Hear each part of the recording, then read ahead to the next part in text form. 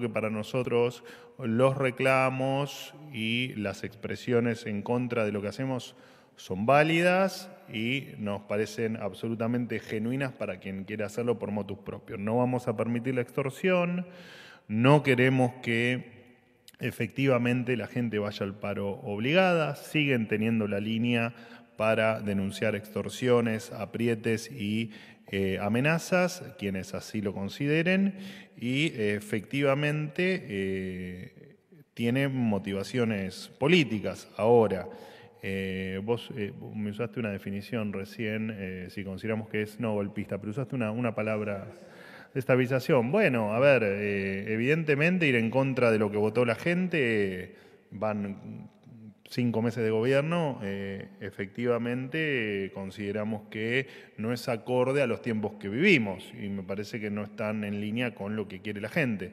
Pero bueno, está bien, quieren, quieren parar todo y complicarle la vida a medio país, que lo hagan. No podemos, la verdad es que no podemos hacer nada para, para que eso no ocurra si ellos tienen la decisión de hacerlo.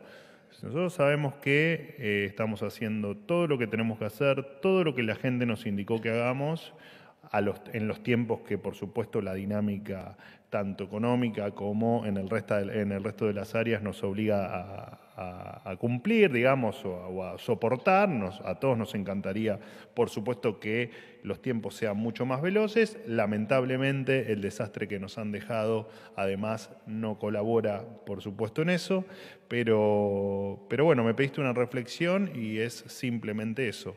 Me gustaría que expliquen por qué durante cuatro años, donde despedazaron la Argentina, nadie dijo absolutamente nada.